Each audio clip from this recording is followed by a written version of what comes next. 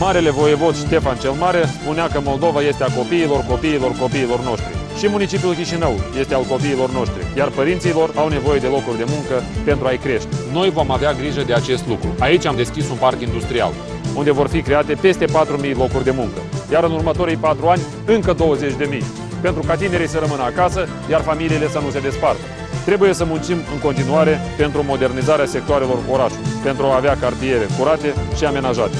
Suburbiile vor rămâne în componența municipiului Chișinău. Împreună vom dezvolta capitala.